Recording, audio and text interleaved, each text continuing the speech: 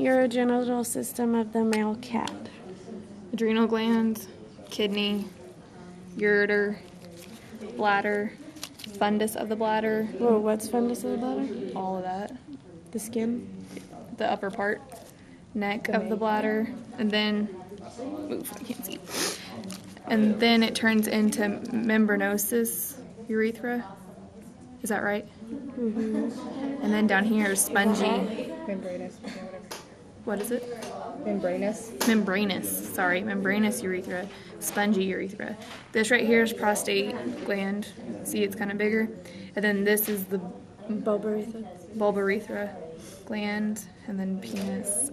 Okay, spermatic cord is the pink. Ductus deferens is this. And you have testes, and you have head, body, and tail of epididymis. Ureter. I already did ureter. Right here. Connects to the kidney. no prepuce in the glans. Or in this, right? Somewhere. Mm-hmm. Okay.